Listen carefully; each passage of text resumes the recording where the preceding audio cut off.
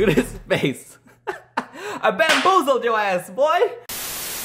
What's up? Welcome back to the channel. My name is Simon Servida. Let me let me give you a little backstory. So there's this YouTuber. His name is Kyle Beats. A week ago, he puts this video out. It's like a finish my beat contest. So he made a melody. He stemmed it out. He's like, okay, there you go. Do whatever you want with it. Basically, I'm doing a contest to see who can come up with the best beat from the melodies that I'm going to make. Are you sure? Don't tempt me.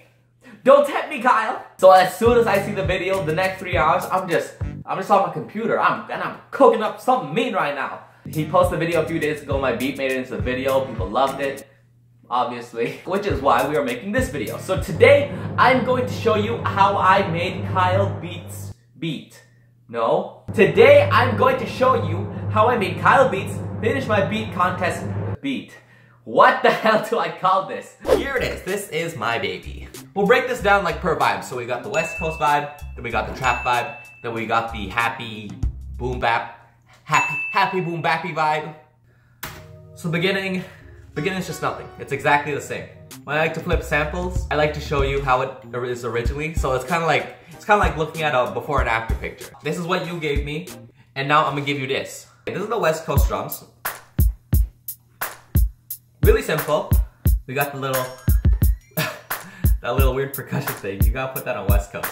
So you're probably asking me how I got, you know, all these three different vibes, and that's pretty much just reharmonizing. If you don't know what that is, it's when someone gives you a song, and you keep the melody, but you change the chords around it. Here's the original sample, right? It has chords and the melody on top of it.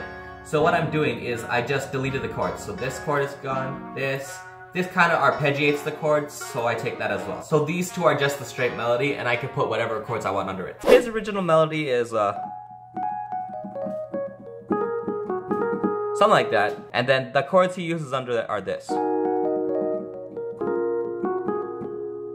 So, instead of doing that, so this is what I'm doing for the West Coast vibe. So I have this chord, and then to give it that West Coast vibe, see my pinky right there? Boom. That little F, that's the ninth. That's that's West Coast AF. Listen to that. Woo! See how West Coast I made that? So that's how I'm getting the different vibes. Like let's say let's say I have this and I take out the chords and I take out the bass, then it doesn't really give you that West Coast feel. It's just it's just like a slowed down beat.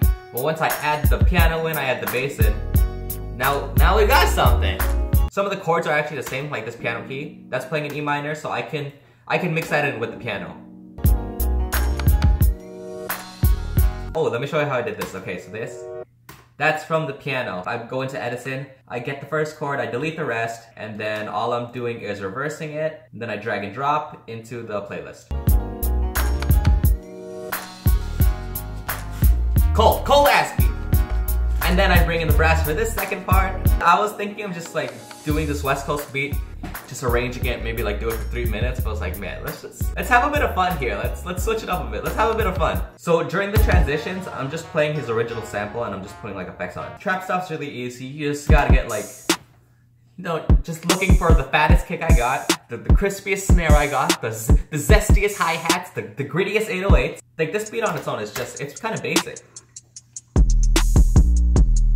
And then I'm just using the brass to get the melody. A lot of vocal effects. I, I do a lot of vocal effects in this. And then I just add in the rest of uh, the stems onto it. Then I just have this low pass filter here, so we're going into the boom bap stuff. So I, tur I turned up my swing meter for this one.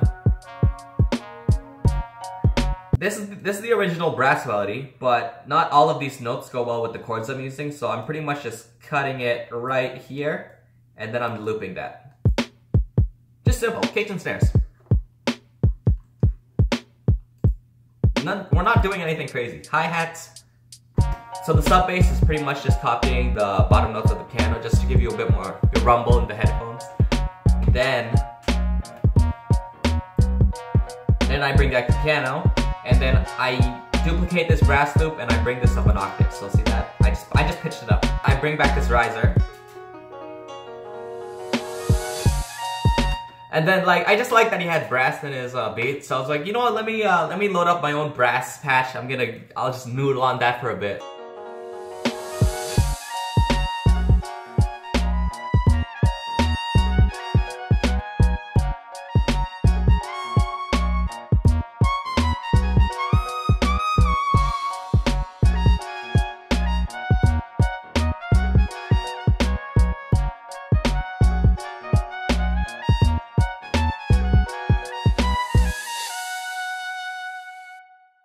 So much for watching the video. I genuinely hope you enjoyed it. If you want to hear the full song, I left a SoundCloud link in the description. I also made it available to download, so if you want to download it, put it on your phone, rap over it, you know, just do do whatever you want. Have a have a ball. I have to give the biggest, biggest shout out to Kyle Beats.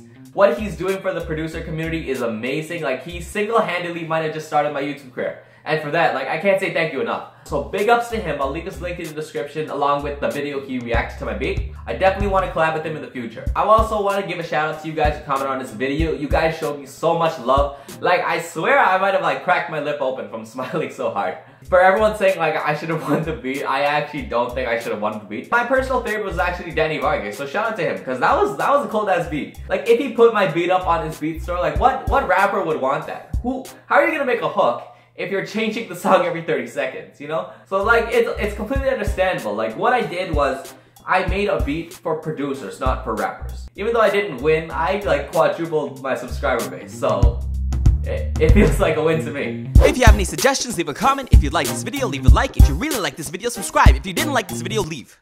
Just leave. Get out of here.